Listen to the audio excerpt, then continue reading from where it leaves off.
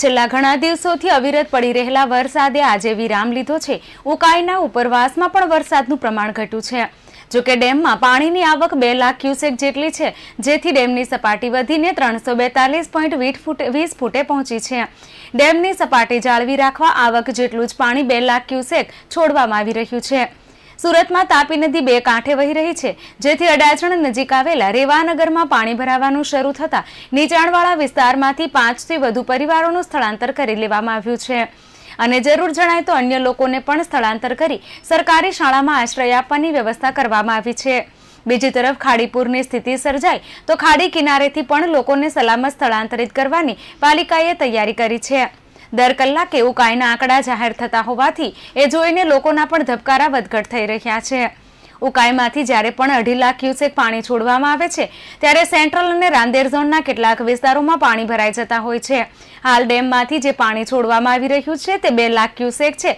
જેના લીધે અડાજણના રહેવાનગર સહિતના વિસ્તારમાં પાણી ભરાઈ જવાની દહેશત જોવાઈ રહી છે. કોર્પોરેશનના અધિકારીઓ દ્વારા રેવાનગરમાં રહેતા કેટલાક લોકોનું સ્થળાંતર કરી નજીકની સરકારી શાળામાં આશ્રય આપવામાં આવ્યો છે. ઉકાઈ ડેમમાંથી છોડવામાં આવતું પાણી એક લાખ ક્યુસેકની આસપાસ રહે ત્યાં સુધી લોકોના જીવ પડીકે બંધાઈ રહે છે. જ્યારે પણ આવી પરિસ્થિતિ સર્જાય છે, ત્યારે શહેરમાં ખાડીપુર અને તાપી નદી આસપાસના રહેણાંક વિસ્તારમાં પાણી ભરાઈ જવાની શક્યતા વધી જાય છે. જેથી વહીવટીતંત્ર પણ હાઈ એલર્ટ પર છે. જિલ્લા સેવા સદન અને કોર્પોરેશનનો કંટ્રોલ રૂમ ધમધમી રહ્યો છે.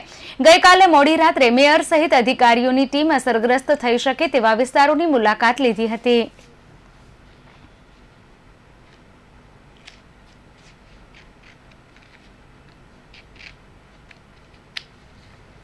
સુરત જિલ્લામાં વરસી રહેલ ધોધમાર વરસાદ સાથે આજે પૂર ઝડપે પવન ફૂંકાતા હવામાન વિભાગની ચેતવણીને ધ્યાનમાં રાખી ડુમસ, સુવાલી બીચ સહિત દરિયા કિનારાના તમામ પર્યટન સ્થળો પર અવરજવર માટે એક ઓક્ટોબર સુધી પ્રતિબંધ મૂકી દેવાયો છે.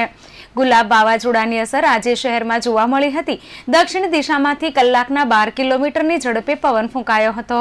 આગાહી અનુસાર પવનની ઝડપ પ્રતિ કલાક પચાસથી સાઠ કિલોમીટરની થઈ શકે તેમ હોવાથી શહેર જિલ્લાના દરિયા કિનારાના તમામ પર્યટન સ્થળો પર પહેલી ઓક્ટોબર સુધી અવરજવર પર પ્રતિબંધ મૂકી દેવાયો છે. તો માછીમારોને પણ દરિયો ન ખેડવા સૂચના આપી છે. સમુદ્રમાં જેટલી પણ બોટ હોય તે તાત્કાલિક પરત લાવવા તાકીદ કરાય છે. મત્સ્યોદ્યોગ કચેરીને પણ ટોકન ઇસ્યુ ન કરવા તાકીદ કરવામાં આવી છે.